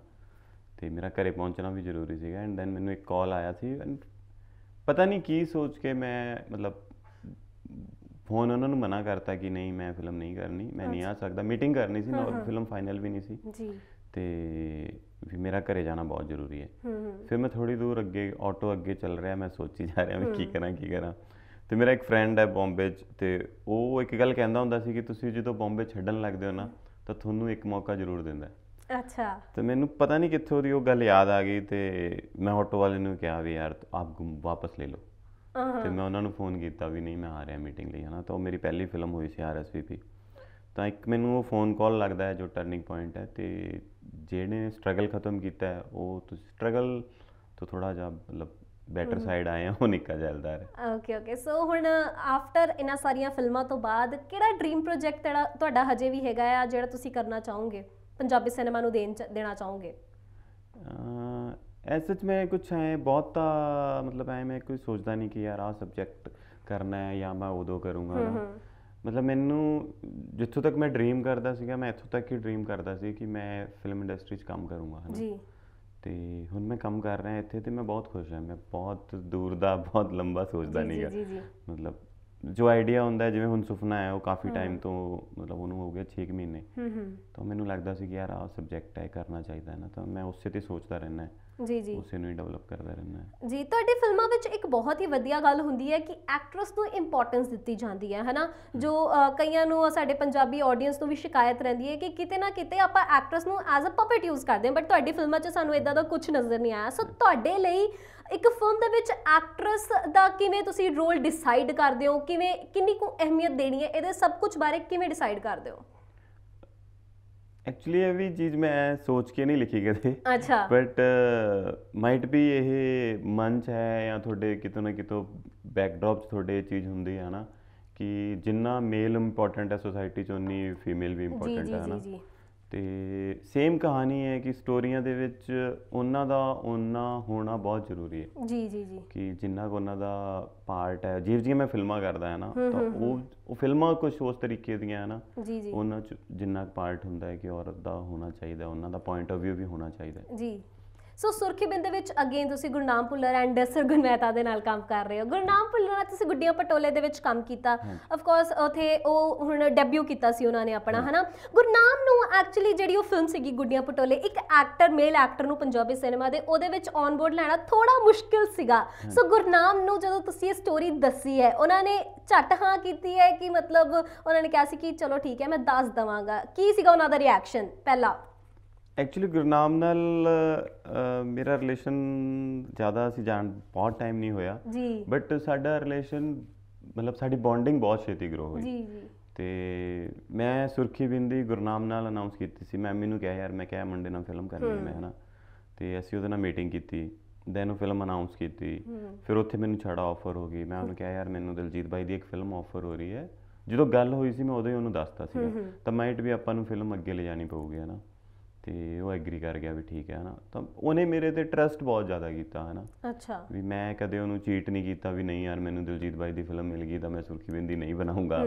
ਜਾਂ ਮੈਂ ਮੈਂ ਹੁਣ ਤੈਨੂੰ ਮਤਲਬ ਤੂੰ ਮੇਰੇ ਤੇ ਮੈਂ ਤੈਨੂੰ ਰੋਕ ਲਿਆ ਵੀ ਆਪਾਂ ਫਿਲਮ ਕਰਦੇ ਆ ਤਾਂ ਮੈਂ ਤੇਰੇ ਨਾਲ ਨਹੀਂ ਫਿਲਮ ਕਰੂੰਗਾ ਨਾ ਸੋ ਇਸੇ ਲਈ ਫਿਰ ਮੈਂ ਗੁੱਡੀਆਂ ਪਟੋਲੇ ਵੀ ਅਕਤੂਬਰ ਦੇ ਵਿੱਚ ਇੱਕ ਪ੍ਰੋਜੈਕਟ ਇਸੇ ਲਈ ਖੜਾ ਕੀਤਾ ਸੀਗਾ ਕਿ ਮੈਂ ਗੁਰਨਾਮ ਨੂੰ ਵੀ ਕਮਿਟਮੈਂਟ ਕੀਤੀ ਵੀ ਸੀ ਸੋਨਮ ਨੂੰ ਵੀ ਕਮਿਟਮੈਂਟ ਕੀਤੀ ਸੀਗੀ ਹਨਾ? ਹੂੰ ਹੂੰ ਹੂੰ। ਤਾਂ ਉਹਨਾਂ ਦਾ ਜਿਹੜਾ ਟਾਈਮ ਪੀਰੀਅਡ ਉਹਨਾਂ ਨੇ ਮੇਰੇ ਲਈ ਬਲੌਕ ਕੀਤਾ ਉਹ ਵੀ ਖਾਲੀ ਨਾ ਜਾਵੇ ਫਿਲਮ ਵੀ ਵਧੀਆ ਹੋ ਜੇ ਤਾਂ ਐਨੀ ਹੋਊਗੀ ਉੱਥੇ ਗੁੱਡੀਆਂ ਪਟੋਲੇ ਹੋ ਗਈ ਸਭ ਵਧੀਆ ਰਹਿ ਗਿਆ ਤੇ ਹੁਣ ਅਸੀਂ ਸੁਰਖੀ ਬਿੰਦੀ ਕਰ ਰਹੇ ਜੀ ਜੀ। ਸੋ ਐਮਏ ਵਿਰਕ ਦੇ ਨਾਲ ਤੁਹਾਡੀ ਹਰ ਇੱਕ ਗੱਲ ਵਿੱਚ ਉਹਨਾਂ ਦਾ ਜ਼ਿਕਰ ਜ਼ਰੂਰ ਹੈਗਾ। ਸੋ ਐਮਏ ਵਿਰਕ ਤੁਹਾਡੀ ਲਾਈਫ ਵਿੱਚ ਹੁਣ ਕਿੰਨੀ ਕੁ ਇੰਪੋਰਟੈਂਸ ਹੈ ਕੀ ਕੁਝ ਉਹਨਾਂ ਨੇ ਤੁਹਾਡੇ ਲਈ ਮਤਲਬ ਕਹਿੰਦੇ ਨੇ ਨਾ ਇੱਕ ਸਪੋਰਟ ਸਿਸਟਮ ਰਹੇ ਹੋਣੇ ਆ। ਸੋ ਕਿਹੋ ਜਿਹੇ ਸਪੋਰਟ ਸਿਸਟਮ ਰਹੇ ਤੁਹਾਡੇ ਐਮਏ ਵਿਰਕ ਤੁਹਾਡੀ ਲਾਈਫ ਦੇ ਵਿੱਚ? ਐਕਚੁਅਲੀ ਅਸੀਂ ਨਿੱਕਾ ਵਨ ਦੇ ਵਿੱਚ ਬਹੁਤ ਘੱਟ ਜਾਣਦੇ ਸੀ ਇੱਕ ਦੂਜੇ ਨੂੰ ਹਾਂ। ਮਤਲਬ ਸਾਡੀ ਕੋਈ ਫਰੈਂਡਸ਼ਿਪ ਨਹੀਂ ਸੀਗੀ ਮਤਲਬ ਪ੍ਰੋਫੈਸ਼ਨਲ ਜਾਂ ਰਿਲੇਸ਼ਨ ਜੀ। ਸੀਗੀ ਸਾਡੀ ਮਤਲਬ ਜਿਹੜੀ ਦੋਸਤੀ ਹੋਈ ਆ ਉਹ ਨਿੱਕੇ ਦੀ ਰਿਲੀਜ਼ ਤੋਂ ਬਾਅਦ ਰਿਲੀਜ਼ ਤੋਂ ਪਹਿਲਾਂ ਹੀ। ਹਾਂ, ਨਿੱਕੇ ਵਨ ਦੀ ਰਿਲੀਜ਼ ਤੋਂ ਪਹਿਲਾਂ। ਤੇ ਫਿਰ ਨਿੱਕੇ 2 ਚ ਹੋਰ ਗਰੋ ਹੋ ਗਈ ਫਿਰ ਅਸੀਂ ਫਿਲਮਾਂ ਹੀ ਫਿਲਮਾਂ ਤਾਂ ਚਲੋ ਕਰਦੇ ਹੀ ਹਾਂ ਅਸੀਂ ਉਸ ਤੋਂ ਇਲਾਵਾ ਵੀ ਮੈਨੂੰ ਲੱਗਦਾ ਹੈ ਕਿ ਮਤਲਬ ਅਸੀਂ ਹੁਣ ਬ੍ਰਦਰਸ ਵਰਗੇ ਆ ਇੱਕ ਦੂਜੇ ਨਾਲ ਨਾ। ਸਾਨੂੰ ਕੋਈ ਕਿਸੇ ਤੋਂ ਕੋਈ ਛਲ ਨਹੀਂ ਕੋਈ ਕਪਟ ਨਹੀਂ ਹੈ ਨਾ ਕੋਈ ਪੈਸਾ ਨਹੀਂ ਕੋਈ ਚੀਜ਼ ਸਾਡੇ ਲਈ ਮੈਟਰ ਨਹੀਂ ਕਰਦੀ ਸਾਡਾ ਛੂਟ ਸਾਡੀ ਦੋਸਤੀ। ਹੁਣ ਇੰਨੀ ਵਧੀਆ ਹੈ ਨਾ ਤੇ ਉਹ ਸਪੋਰਟ ਸਿਸਟਮ ਹਮੇਸ਼ਾ ਹੈ ਕਿ ਉਹਨੂੰ ਕਦੇ ਵੀ ਨਹੀਂ ਤਾਂ ਬੰਦਾ ਇਨਸਿਕਿਉਰ ਹੋ ਜਾਂਦਾ ਹੈ ਨਾ ਤਾਂ ਲਾਈਕ ਜਿਵੇਂ ਦਿਲਜੀਤ ਬਾਈ ਦੀ ਮੈਨੂੰ ਫਿਲਮ ਆਫਰ ਹੋਈ ਤਾਂ ਉਹਨੇ 1% ਵੀ ਕੁਝ ਸੋਚਿਆ ਨਹੀਂ ਵੀ ਯਾਰ ਆਪਾਂ ਕਰਾਂਗੇ ਇਹ ਕਰਾਂਗੇ। ਇਨਫੈਕਟ ਉਹ ਬਹੁਤ ਖੁਸ਼ ਹੋਇਆ ਵੀ ਯਾਰ ਵਧੀਆ ਹੈ ਨਾ ਸੇਮ ਹੁਣ ਉਹ ਹਿੰਦੀ ਫਿਲਮਾਂ ਕਰ ਰਿਹਾ ਜੀ ਤਾਂ ਸਾਨੂੰ ਇੱਕ ਦੂਜੇ ਦੀ ਸਕਸੈਸ ਵੀ ਵਧੀਆ ਲੱਗਦੀ ਹੈ। ਫੇਲਿਅਰ ਵੀ ਅਸੀਂ ਵੰਡ ਵੰਡ ਲੈਨੇ ਜੀ ਜੀ ਜੀ। ਸੋ ਹੁਣ ਇੱਕ ਰਿਜੈਕਸ਼ਨਸ ਆਫ ਕੋਰਸ ਕਿਸਮਤ ਲਈ ਵੀ ਤੁਹਾਨੂੰ ਬਹੁਤ ਮਿਲੀਆਂ। ਤੁਸੀਂ ਇਹ ਦੱਸਿਆ ਸੀਗਾ ਕਿਸਮਤ ਨੂੰ ਰਿਜੈਕਸ਼ਨਸ ਮਿਲੀਆਂ। ਇਵਨ ਆਈ ਗੈਸ ਤੁਹਾਡੀ ਸਟੋਰੀਜ਼ ਨੂੰ ਵੀ ਮਤਲਬ ਇੱਕ ਕਈ ਨਾ ਕਿਤੇ ਕਿਤੇ ਰਿਜੈਕਸ਼ਨਸ ਮਿਲੀਆਂ ਹੋਣੀਆਂ। ਸੋ ਇਹੋ ਜੀ ਕਿਹੜੀ ਰਿਜੈਕਸ਼ਨ ਸੀਗੀ ਜਿਹਨੇ ਤੁਹਾਨੂੰ ਬਹੁਤ ਮੋਟੀਵੇਟ ਕੀਤਾ ਤੇ ਅੱਜ ਵੀ ਕਰਦੀ ਹੈ ਕਿ ਇਹੋ ਜੀ ਰਿਜੈਕਸ਼ਨ ਮਿਲੀ ਹੈ? ਤਾਂ ਹੀ ਸ਼ਾਇਦ ਮੈਨੂੰ ਹੋਰ ਮੋਟੀਵੇਸ਼ਨ ਮਿਲਦੀ ਹੈ ਇਸ ਚੀਜ਼ ਤੋਂ। ਕਿਸਮਤ ਜਿਹੜੀ ਫਿਲਮ ਹੈ ਐਕਚੁਅਲੀ ਪਹਿਲਾਂ ਹਿੰਦੀ 'ਚ ਲਿਖੀ ਸੀ ਮੈਂ ਹਨਾ? ਹਾਂ ਹਾਂ ਹਾਂ ਤੇ ਮੈਨੂੰ ਲੱਗਦਾ ਨਹੀਂ ਕਿ ਉਸ ਏਜ ਗਰੁੱਪ ਦਾ ਕੋਈ ਐਕਟਰ ਹੈ ਜਿਹਨੂੰ ਮੈਂ ਉਹ ਫਿਲਮ ਨਰੇਟ ਨਹੀਂ ਕੀਤੀ। ਅੱਛਾ। ਇੱਕ ਸਿਧਾਰਥ ਮਲਹੋਤਰਾ ਤੇ ਅਰਜੁਨ ਕਪੂਰ ਨੂੰ ਛੱਡ ਕੇ ਅੱਛਾ। ਬਾਕੀ ਉਹ ਸਭ ਨੂੰ ਸਭ ਨੂੰ ਸੁਣਾਈ ਵੀ ਫਿਲਮ ਹੈ। ਹਾਂ ਤੇ ਐਨੀ ਹਾਊ ਉੱਥੇ ਫਿਲਮ ਬਣੀ ਨਹੀਂ ਹੈ ਨਾ ਹਰ ਹਰ ਬੰਦੇ ਦੀ ਆਪਣੀ ਇੱਕ ਪਲਾਨਿੰਗ ਹੁੰਦੀ ਹੈ। ਮੈਂ ਕਦੇ ਇਹ ਨਹੀਂ ਸੋਚਿਆ ਕਿ ਉਹਨਾਂ ਨੂੰ ਫਿਲਮ ਸਭ ਨੂੰ ਪਸੰਦ ਆਈ ਬਟ ਬਹੁਤ ਸਾਰੀਆਂ ਇੱਕ ਫਿਲਮ ਬਣਾਉਣ ਦੇ ਪਿੱਛੇ ਜਸਟ ਸਟੋਰੀ ਨਹੀਂ ਹੁੰਦੀ ਹੈ ਨਾ ਬਹੁਤ ਸਾਰਾ ਹੁੰਦਾ ਹੈ। ਸਟੂਡੀਓ ਕੌਣ ਹੈ ਡਾਇਰੈਕਟਰ ਕੌਣ ਹੈ ਸੈਟਅਪ ਕੀ ਹੈ। ਇਨਫੈਕਟ ਆਫ ਦਾ ਸਟਾਰ ਐਕਟਰ ਇੰਨਾ ਬਿਜ਼ੀ ਹੁੰਦਾ ਹੈ ਇੰਨਾ ਤਿੰਨ ਤਿੰਨ ਚਾਰ ਚਾਰ ਫਿਲਮਾਂ ਲਾਈਨ ਅਪ ਹੁੰਦੀਆਂ। ਤਾਂ ਐਨੀ ਉਹ ਫਿਲਮ ਉੱਥੇ ਬਣੀ ਨਹੀਂ ਗਈ ਬਟ ਕਿਤੇ ਵੀ ਮੈਂ ਉਸ ਤੋਂ ਮੈਨੂੰ ਐ ਨਹੀਂ ਹੋਇਆ। ਉਸ ਉਹਨਾਂ ਰਿਜੈਕਸ਼ਨਸ ਤੋਂ ਕਿ ਯਾਰ ਆ ਫਿਲਮ ਖਰਾਬ ਹੈ ਜਾਂ ਇਹਦੇ ਇਹਦੀ ਕਿਸਮਤ ਠੀਕ ਨਹੀਂ ਹੈ ਨਾ ਤਾਂ ਲ- ਮੈਂ ਹਮੇਸ਼ਾ ਉਹਨਾਂ ਚੀਜ਼ਾਂ ਨੂੰ ਪਲੱਸ ਹੀ ਲਿਆ ਹੈ ਨਾ ਮੇਰੀਆਂ ਦੋ ਤਿੰਨ ਹਿੰਦੀ ਫਿਲਮਾਂ ਹੈ ਬਹੁਤ ਵੱਡੀਆਂ ਵੱਡੀਆਂ ਹੈ, ਜੋ ਐਨ ਮੌਕੇ ਤੇ ਬੰਦੀਆਂ ਬੰਦੀਆਂ ਰਹਿ ਗਈਆਂ। ਬਟ ਇਹ ਲਾਈਫ ਦਾ ਪਾਰਟ ਹੈ ਹਰ ਬੰਦੇ ਦਾ ਹੁੰਦਾ ਹੈ ਨਾ। ਜੀ ਜੀ। ਵੀ ਜਿਵੇਂ ਆਪਾਂ ਕਹਿੰਦੇ ਕਿਸਾਨ ਹੈ ਪੰਜਾਬ ਚ ਐਗਰੀਕਲਚਰ ਹੈ ਨਾ। ਹੁਣ ਕਈ ਵਾਰੀ ਫਸਲ ਪੱਕੀ ਹੁੰਦੀ ਹੈ ਗੜੇ ਪੈ ਜਾਂਦੇ ਬਟ ਤੁਸੀਂ ਕੁਝ ਨਹੀਂ ਕਰ ਸਕਦੇ। ਜੀ ਜੀ। ਦੁਬਾਰੇ ਤੁਹਾਨੂੰ ਵਾਹ ਕੇ ਬੀਜਣੀ ਪਊਗੀ ਤਾਂ ਸੇਮ ਇੰਡਸਟਰੀ ਹੈ ਇਟਸ ਜੀ ਓਕੇ ਜੀ। ਕਿਸਮਤ ਦੇ ਗਾਣਿਆਂ ਦੀ ਗੱਲ ਕਰੀਏ ਤਾਂ ਹਰ ਇੱਕ ਗਾਣੇ ਨੂੰ ਨਾ ਆਪਣੀ ਇੱਕ ਅਹਿਮੀਅਤ ਹੈ। ਇੱਕ ਕੋਈ ਵੀ ਗਾਣਾ ਨਹੀਂ ਹੋਣਾ ਜਿਹੜਾ ਅਸੀਂ ਨਹੀਂ ਸੁਣਦੇ ਔਨ ਲੂਪ ਹਜੇ ਵੀ ਉਹ ਗਾਣੇ ਔਨ ਲੂਪ ਸਾਰੇ ਸੁਣਦੇ ਨੇ ਹਨਾ? ਹਰ ਇੱਕ ਗਾਣੇ ਨੂੰ ਸਿਚੁਏਸ਼ਨ ਦੇ ਰਾਹੀਂ ਫਿੱਟ ਕੀਤਾ ਗਿਆ। ਪਰ ਇੱਕ ਗਾਣਾ ਢੋਲਣਾ ਦੇ ਬਾਰੇ ਵੀ ਅਸੀਂ ਕੋਈ ਮਤਲਬ ਸਟੋਰੀ ਹੈਗੀ ਹੈ ਪਿੱਛੇ ਕਿ ਇਹ ਪਹਿਲਾਂ ਇਸ ਫਿਲਮ ਦਾ ਗਾਣਾ ਨਹੀਂ ਸੀਗਾ ਕਿਸੇ ਹੋਰ ਫਿਲਮ ਦਾ ਗਾਣਾ ਸੀਗਾ ਤੇ ਉਹ ਸਟੋਰੀ ਕੀ ਹੈਗੀ ਹੈ ਮਤਲਬ? ਐਕਚੁਅਲੀ ਉਹ ਗਾਣਾ ਸੀਗਾ ਸਰਗੀ ਫਿਲਮ ਦਾ ਅਸੀਂ ਮੋਰਿਸ਼ੀਅਸ ਸ਼ੂਟ ਕਰ ਰਹੇ ਸੀ। ਤੇ ਉਦੋਂ ਉਹ ਜੱਸੀ ਬਾਈ ਨੇ ਮੈਨੂੰ ਸੁਣਾਇਆ ਸੀਗਾ ਜਾਨੀ ਹੋਰਾਂ ਤੋਂ ਬਣਵਾਇਆ ਸੀ ਉਹਨਾਂ ਨੇ ਗਾਣਾ। ਤੇ ਉਸ ਫਿਲਮ ਦੇ ਨਾਲ ਉਹ ਜਾਂਦਾ ਨਹੀਂ ਸੀਗਾ ਕਿਉਂਕਿ ਉਹ ਜਿਹੜਾ ਗਾਣੇ ਦਾ ਇਮੋਸ਼ਨ ਹੈ ਉਹ ਬਹੁਤ ਹੈਵੀ ਸੀਗਾ। ਤੇ ਜਿਹੜੀ ਸਾਡੀ ਫਿਲਮ ਦੀ ਸਿਚੁਏਸ਼ਨ ਸੀਗੀ ਉਹ ਬਹੁਤ ਲਾਈਟ ਸੀਗੀ। ਮਤਲਬ ਉਹਨਾਂ ਹੈਵੀ ਗਾਣਾ ਰਿਕੁਆਇਰ ਨਹੀਂ ਸੀਗਾ। ਜੀ। ਤੇ ਫਿਰ ਉਹ ਗਾਣਾ ਫਿਲਮ 'ਚ ਰੱਖਿਆ ਵੀ ਨਹੀਂ। ਸ਼ੂਟ ਕੀਤਾ ਸੀਗਾ ਅਸੀਂ। ਬਟ ਰੱਖਿਆ ਨਹੀਂ ਐਡਿਟ ਤੇ ਕੱਟਤਾ। ਅੱਛਾ। ਤੇ ਬਾਅਦ ਚ ਫਿਰ ਜਦੋਂ ਮੈਂ ਕਿਸਮਤ ਕਰ ਰਿਹਾ ਸੀਗਾ ਅਗੇਨ ਮੈਂ ਉਹ ਗਾਣਾ ਬਹੁਤ ਸਾਰੇ ਜਣਿਆਂ ਨੂੰ ਸੁਣਾਇਆ। ਹੂੰ। ਮਤਲਬ ਮੈਨੂੰ ਉਹ ਗਾਣਾ ਲੱਗਦਾ ਸੀ ਕਿ ਨਹੀਂ ਯਾਰ ਉਹ ਗਾਣਾ ਇਹ ਚ ਫਿੱਟ ਹੈ ਹਨਾ। ਹੂੰ। ਤੇ ਬਹੁਤ ਜਣਿਆਂ ਨੂੰ ਸੁਣਾਇਆ ਬਟ ਉਹ ਗਾਣਾ ਕਿਸੇ ਨੂੰ ਸਮਝ ਨਹੀਂ ਆਉਂਦਾ ਸੀ। ਅੱਛਾ। ਵੀ ਨਹੀਂ ਠੀਕ ਹੈ ਹੋਰ ਦੇਖ ਲਓ। ਔਰ ਉਹ ਜਗ੍ਹਾ ਤੇ ਪਹਿਲਾਂ ਗਾਣਾ ਸੀ ਵੀ ਨਹੀਂ ਮਤਲਬ ਫਿਲਮ ਦੇ ਵਿੱਚ ਹਨਾ। ਪਰ ਜਦੋਂ ਅਸੀਂ ਕਿਸਮਤ ਦਾ 뮤직 ਕਰ ਰਹੇ ਸੀਗੇ ਤਾਂ ਜੋ ਮਤਲਬ ਜਾਨੀ ਬਾਈ ਹੋਰਾਂ ਦਾ ਬੈਂਕ ਹੈ ਉਹ ਬਹੁਤ ਸਾਰੇ ਗਾਣੇ ਬਣਾ ਕੇ ਉਹਨਾਂ ਕੋਲ ਪਏ ਹੁੰਦੇ ਆ ਬਹੁਤ ਮਿਹਨਤ ਕਰਦੇ ਰਹਿੰਦੇ ਆ। ਤੇ ਉਹ ਗਾਣਾ ਕਿਤੇ ਉਹਨਾਂ ਨੇ ਮੈਨੂੰ ਸੁਣਾਇਆ ਸੀਗਾ। ਮੈਂ ਕਿਹਾ ਹਾਂ ਗਾਣਾ ਤਾਂ ਸਰਗੀ ਸੀਗਾ। ਕਹਿੰਦੇ ਹਾਂ। ਵੀ ਇਹ ਸਾਡੇ ਕੋਲੇ ਪਿਆ ਹੀ ਹੈ। ਤੇ ਮੈਨੂੰ ਉਹ ਵਧੀਆ ਲੱਗਦਾ ਸੀਗਾ ਕਿ ਨਹੀਂ ਯਾਰ ਉਹ ਗਾਣਾ ਉਸ ਮੂਮੈਂਟ ਤੇ ਆਊਗਾ ਫਿਲਮ 'ਚ ਤਾਂ ਉਹ ਬਹੁਤ ਇੰਪੈਕਟ ਦੇਊਗਾ। ਜੀ ਜੀ ਜੀ। ਤੇ ਸੇਮ ਉਹ ਗਾਣੇ ਨੂੰ ਵੀ ਬਹੁਤ ਰਿਜੈਕਸ਼ਨ ਮਿਲੇ। ਮਤਲਬ ਕਿਸੇ ਵੀ ਬੰਦੇ ਨੇ ਨਹੀਂ ਕਿਹਾ ਵੀ ਯਾਰ ਆ ਗਾਣਾ ਰੱਖੋ ਹਨਾ। ਵੀ ਨਹੀਂ ਨਹੀਂ ਨਹੀਂ ਹਨਾ। ਬਟ ਮੇਰਾ ਮਨ ਨਹੀਂ ਮੰਨਦਾ ਸੀ। ਮੈਨੂੰ ਸੀਗਾ ਵੀ ਨਹੀਂ ਠੀਕ ਹੈ। ਤੇ ਜਦੋਂ ਸ਼ੂਟ ਹੋ ਰਿਹਾ ਸੀਗਾ ਜੋ ਜਿੰਨਾ ਕੋ ਸ਼ੂਟ ਕੀਤਾ ਉਹ ਕਿਸੇ ਨੂੰ ਸਮਝ ਵੀ ਨਹੀਂ ਆ ਰਿਹਾ ਸੀ ਵੀ ਇਹ ਕੀ ਸ਼ੂਟ ਹੈ। ਕਿਉਂਕਿ ਅਸੀਂ ਉਹ ਬਹੁਤ ਪਾਰਟੀਸ਼ਨ ਚ ਸ਼ੂਟ ਕੀਤਾ ਜਿਹੜੇ ਉਹਦਾ ਸੀੜੀਆਂ ਵਾਲਾ ਸੀਨ ਉਹ ਕਿਤੇ ਹੋਰ ਕੀਤਾ ਹੈ। ਕੋਰੀਡੋਰ ਕਿਤੇ ਹੋਰ ਹੈ ਖੇਤ ਕਿਤੇ ਹੋਰ ਹੈ ਹਨਾ। ਤਾਂ ਉਹ ਔਰ ਕਿਸੇ ਨੂੰ ਪਤਾ ਨਹੀਂ ਸੀ ਵੀ ਇਹ ਕੀ ਜੁੜ ਕੇ ਕੀ ਬਣੂਗਾ ਹਨਾ ਕੀ ਇੰਪੈਕਟ ਆਊਗਾ ਇਹਦਾ। ਜੀ। ਬਟ ਉਹ ਇੱਕ ਕਨਵਿਕਸ਼ਨ ਸੀਗੀ ਮੇਰੀ ਉਸ Song ਤੇ ਕਿ ਨਹੀਂ ਯਾਰ ਇਹ ਵਧੀਆ ਲੱਗੂਗਾ। ਆਈ ਗੈਸ ਤੁਹਾਡੀ ਕਨਵਿਕਸ਼ਨ ਬਹੁਤ ਸਟਰੋਂਗ ਹੈ ਤਾਂ ਹੀ ਉਹ ਚੀਜ਼ ਹਮੇਸ਼ਾ ਇੱਕ ਵਧੀਆ ਤਰੀਕੇ ਨਾਲ ਨਿਕਲ ਕੇ ਆਉਂਦੀ ਹੈ ਹਨਾ? ਹਰਜੀਤਾ ਫਿਲਮ ਦੀ ਗੱਲ ਕਰੀਏ ਨਾ ਹਰਜੀਤਾ ਬਹੁਤ ਹੀ ਸੋਹਣੀ ਫਿਲਮ ਸੀਗੀ। ਐਮੀ ਵਿਰਕ ਨੇ ਬਹੁਤ ਮਿਹਨਤ ਕੀਤੀ ਬਾਡੀ ਤੇ ਜੋ ਬਹੁਤ ਹੀ ਔਖਾ ਕੰਮ ਸੀਗਾ। ਬਟ ਕਿਤੇ ਨਾ ਕਿਤੇ ਆਈ ਗੈਸ ਤੁਹਾਨੂੰ ਵੀ ਇਸ ਗੱਲ ਤੋਂ ਨਿਰਾਸ਼ਾ ਹੈਗੀ ਕਿ ਉਸ ਫਿਲਮ ਨੂੰ ਇੰਨਾ ਰਿਸਪੌਂਸ ਨਹੀਂ ਮਿਲਿਆ। ਜਦੋਂ ਇੰਨਾ ਰਿਸਪੌਂਸ ਨਹੀਂ ਮਿਲਿਆ ਨਿਰਾਸ਼ਾ ਹੋਈ ਕਿਵੇਂ ਦਾ ਮਤਲਬ ਫੀਲਿੰਗ ਸੀਗੀ? ਕਿਉਂਕਿ ਆਡੀਅנס ਨੇ ਇੰਨਾ ਐਕਸੈਪਟ ਨਹੀਂ ਕੀਤਾ ਸੀ ਉਸ ਫਿਲਮ ਨੂੰ। ਐਕਚੁਅਲੀ ਜੈਨੂਇਨਲੀ ਮਤਲਬ ਮੈਨੂੰ ਵੀ ਲੱਗਦਾ ਹੈ ਕਿ ਯਾਰ ਉਹ ਫਿਲਮ ਬਹੁਤ ਵਧੀਆ ਸੀਗੀ ਹੈ ਨਾ? ਤੇ ਬਹੁਤ ਮੈਸੇਜ ਵੀ ਆਉਂਦੇ ਆ ਹੁਣ ਲੋਕ ਦੇਖ ਰਹੇ ਆ ਟੀਵੀ ਤੇ ਬਹੁਤ ਰਿਪੀਟ ਹੋ ਰਹੀ ਹੈ ਫਿਲਮ ਉਹ ਪਿਟਾਰਾ ਤੇ ਹੈ ਨਾ? ਤੇ ਹਜੇ ਵੀ ਬਹੁਤ ਮੈਸੇਜ ਆਉਂਦੇ ਆ ਤੇ ਬਟ ਉਹ ਫਿਲਮ ਬਾਕਸ ਆਫਿਸ ਤੇ ਨਹੀਂ ਚੱਲੀ ਹੈ ਨਾ? ਲੋਕਾਂ ਨੇ ਨਹੀਂ ਦੇਖੀ। ਤੇ ਆਈ ਡੋਨਟ ਨੋ ਕਿ ਪਤਾ ਨਹੀਂ ਉਹਦੇ ਚ ਮਾਰਕੀਟਿੰਗ 'ਚ ਕੋਈ ਪ੍ਰੋਬਲਮ ਸੀ ਜਾਂ ਲੋਕਾਂ ਨੂੰ ਉਹ ਟਾਈਟਲ ਨਹੀਂ ਸਮਝ ਆਇਆ ਜਾਂ ਲੋਕਾਂ ਨੇ ਫਿਲਮ ਦਾ ਕੋਈ ਪਰਸੈਪਸ਼ਨ ਅੱਡ ਬਣਾਇਆ ਕਿ ਉਹ ਇਸ ਤਰੀਕੇ ਦੀ ਫਿਲਮ ਹੋਊਗੀ ਹੈ ਨਾ? ਬਟ ਉਹ ਬਹੁਤ ਐਂਟਰਟੇਨਿੰਗ ਜੀ ਫਿਲਮ ਸੀਗੀ ਤੇ ਮਾਈਟ ਵੀ ਕੁਝ ਕਮੀਆਂ ਵੀ ਹੋਣਗੀਆਂ ਹਨਾ ਜੋ। ਸਾਨੂੰ ਨਹੀਂ ਦਿਖਦੀਆਂ। ਆਈ ਗੈਸ ਪੰਮੀ ਬਾਈ ਨੇ ਗੱਲ ਵੀ ਕਹੀ ਸੀਗੀ ਐਕਚੁਅਲੀ ਇੱਧਰ ਹੀ ਆ ਕੇ ਗਈ ਮੈਨੂੰ ਯਾਦ ਆ ਗਈ ਕਿ ਉਹਨਾਂ ਨੇ ਕਿਹਾ ਸੀਗਾ ਕਿ ਹਰਜੀਤਾ ਵਰਗੀਆਂ ਫਿਲਮਾਂ ਤੁਸੀਂ ਹਜੇ ਕਿਉਂ ਬਣਾ ਰਹੇ ਹੋ? ਪਹਿਲਾਂ ਲੈਜੈਂਡਸ ਹੈ ਉਹਨਾਂ ਤੇ ਫਿਲਮ ਬਣਾਓ। ਸੋ ਉਹਨਾਂ ਨੇ ਇਹ ਗੱਲ ਕਹੀ ਸੀਗੀ ਕਿ ਹਜੇ ਯੰਗਸਟਰਸ ਨੇ ਹਜੇ ਉਹਨਾਂ ਨੇ ਕੀ ਅਚੀਵ ਕੀਤਾ। ਸੋ ਆਈ ਗੈਸ ਉਹਨਾਂ ਦਾ ਇਹ ਪੁਆਇੰਟ ਆਫ View ਸੀਗਾ ਕਿ ਹਰਜੀਤਾ ਤੇ ਹਜੇ ਫਿਲਮ ਕਿਉਂ ਬਣਾ ਰਹੇ ਹੋ? ਹਜੇ ਨਹੀਂ ਬਣਾਉਣੀ ਚਾਹੀਦੀ ਹੈ। ਨਹੀਂ ਐਕਚੁਅਲੀ ਹਰਜੀਤਾ ਤੇ ਜੋ ਫਿਲਮ ਇਸ ਕਰਕੇ ਨਹੀਂ ਬਣਾਈ ਕਿ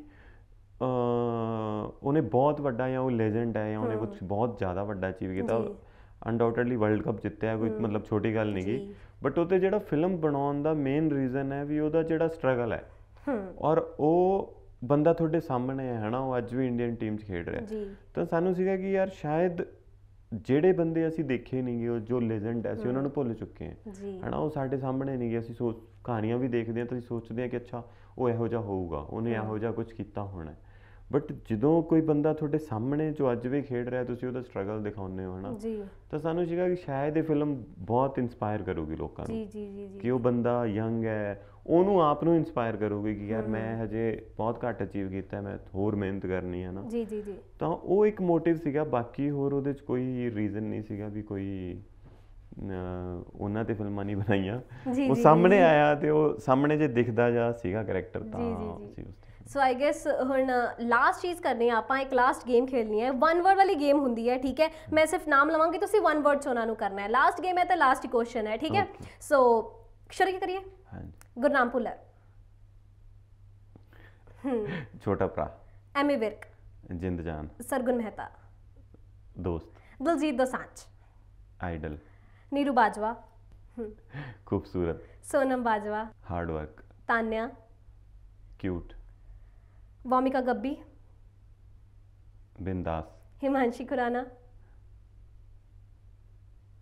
ਪੰਜਾਬੀ ਇੰਡਸਟਰੀ ਸਭ ਤੋਂ ਸੋਹਣੀ okay so last Parmish Verma Instagram okay ਠੀਕ ਹੈ ਸੋ ਆਈ ਗੈਸ ਤੁਹਾਡੇ ਹੁਣ ਫਿਊਚਰ ਪ੍ਰੋਜੈਕਟਸ ਲਈ ਅਸੀਂ ਵੀ ਬਹੁਤ ਐਕਸਾਈਟਿਡ ਹਾਂ ਕਿਉਂਕਿ ਤੁਹਾਡੀ ਸਟੋਰੀ ਸਾਨੂੰ ਕਾਫੀ ਇਨਸਪਾਇਰ ਕਰਦੀ ਹੈ ਪੰਜਾਬੀ ਸਿਨੇਮਾ ਨੂੰ ਰੈਵੋਲੂਸ਼ਨ ਲੈ ਕੇ ਆ ਰਹੀ ਹੈ so thank you so much ਜੇ ਤੁਸੀਂ ਆਪਣੇ ਫੈਨਸ ਨੂੰ ਕੁਝ ਕਹਿਣਾ ਚਾਹੁੰਦੇ ਹੋ ਸੋ ਆਫ ਕੋਰਸ ਤੁਸੀਂ ਕਹਿ ਸਕਦੇ ਹੋ ਥੈਂਕ ਯੂ ਥੈਂਕ ਯੂ ਜੀ ਇੰਟਰਵਿਊ ਲਈ ਤੇ ਤੁਸੀਂ ਜਿਵੇਂ ਵੀ ਫਿਲਮਾਂ ਦੇਖਦੇ ਹੋ ਪੰਜਾਬੀ ਫਿਲਮਾਂ ਹਨਾ ਤੇ ਉਨਾ ਹੀ ਮਤਲਬ ਪੰਜਾਬੀ ਫਿਲਮਾਂ ਨੂੰ ਦੇਖਦੇ ਰਹੋ ਸਪੋਰਟ ਕਰਦੇ ਰਹੋ। ਚੰਗੀਆਂ ਫਿਲਮਾਂ ਉਹਨਾਂ ਨੂੰ ਪ੍ਰਮੋਟ ਕਰੋ। ਜੋ ਤੁਹਾਨੂੰ ਠੀਕ ਨਹੀਂ ਲੱਗਦਾ ਮਾੜਾ ਲੱਗਦਾ ਹੈ, ਕੰਮ ਗਲਤ ਲੱਗਦਾ ਹੈ, ਤੇ ਉਹਨੂੰ ਨਕਾਰੋ ਵੀ ਹਨਾ। ਸਾਨੂੰ ਮੈਸੇਜ ਕਿਸੇ ਨੂੰ ਵੀ ਤੁਸੀਂ ਕਰਕੇ ਦੱਸ ਸਕਦੇ ਹੋ ਤੁਹਾਡਾ ਹੱਕ ਬਣਦਾ। ਬਟ ਥੋੜਾ ਜਿਹਾ ਮਤਲਬ ਪਹਿਲਾਂ ਨਾਲੋਂ ਬਹੁਤ ਇੰਪਰੂਵ ਹੋਈ ਹੈ ਸਾਡੀ ਇੰਡਸਟਰੀ ਹਨਾ। ਥੋੜਾ ਜਿਹਾ ਹੋਰ ਜੇ ਸਪੋਰਟ ਮਿਲੂਗਾ ਤਾਂ ਅਸੀਂ ਹੋਰ ਵਧੀਆ ਫਿਲਮਾਂ ਬਣਾ ਸਕਾਂਗੇ। Thank you so thank you so much ਤੁਹਾਡੇ ਨਾਲ ਗੱਲ ਕਰਕੇ ਬਹੁਤ ਵਧੀਆ ਲੱਗਾ ਬਹੁਤ ਸਾਰੀਆਂ ਗੱਲਾਂ ਪਤਾ ਲੱਗੀਆਂ। So thank you so much ਤੁਹਾਡਾ। ਸੋ ਮਿਲਾਂਗੇ ਵੀ ਅਗਲੇ ਹਫ਼ਤੇ ਕੁਝ ਹੋਰ ਨਵੇਂ ਸੈਲੀਬ੍ਰਿਟੀਜ਼ ਦੇ ਨਾਲ। ਹੁਣ ਮੈਨੂੰ ਦਿਓ ਇਜਾਜ਼ਤ। ਸਤਿ ਸ਼੍ਰੀ ਅਕਾਲ।